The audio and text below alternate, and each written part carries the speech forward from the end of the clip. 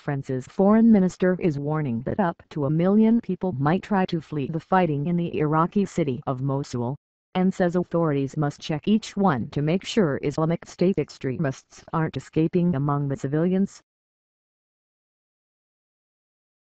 Jean-Marc Ayrault also stressed that the long-awaited, multi-pronged battle for Mosul is only one piece of the campaign against IS, and that the international community must think about the next step notably, the IS stronghold of Raqqa in Syria.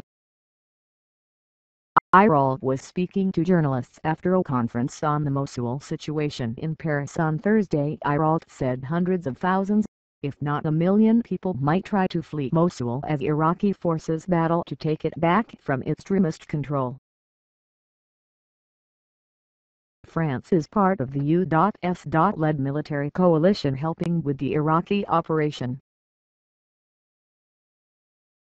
An officer in Iraq's special forces says Islamic State militants deployed nine suicide car bombs as troops advanced to the town of Bartella outside the IS-held northern city of Mosul.